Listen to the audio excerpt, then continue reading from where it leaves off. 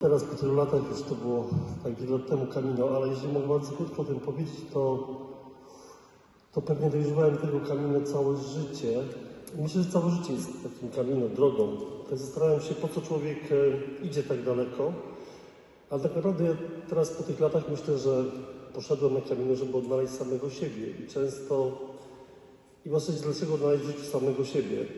Myślę, że jeżeli mm, możemy spotkać Boga, to możemy Go właśnie spotkać w samych sobie. Jeżeli jesteśmy stworzeni na Jego obraz i podobieństwo, to On nas jest w nas, nie gdzieś daleko, nie gdzieś bardzo daleko od nas. I, a z drugiej strony my jesteśmy w tym życiu często daleko od siebie i właśnie może po to jest życie, żebyśmy w drodze przez życie spotkali samych siebie.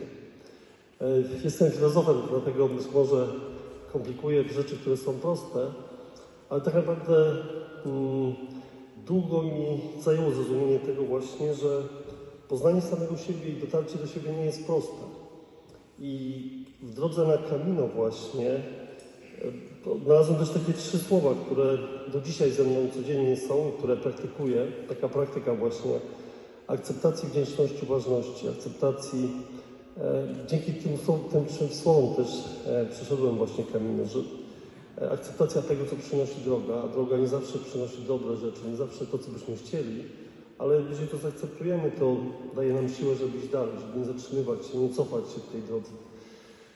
Mm, Wdzięczność, wdzięczność za to, że w ogóle żyjemy, bo jest, e, możemy pewnie być za wiele rzeczy niewdzięczni życiu, Bogu, że nie mamy tego czy czegoś innego, ale właśnie kiedy myślę o swoich przyjaciołach, którzy zginęli w Himalajach, w Himalajach na Antarktydzie, w Arktyce, oni by chcieli się pewnie zderzyć z różnymi problemami, ale nie mogą. Myślę, że samo życie jest darem, o którym często zapominamy mm, i za które powinniśmy być wdzięczni. W końcu uważność, bycie tu i teraz, bo tylko tu i teraz żyjemy. Nie w przeszłości, nie w tym, co było, nie w przyszłości, tym, co będzie, ale właśnie tu i teraz.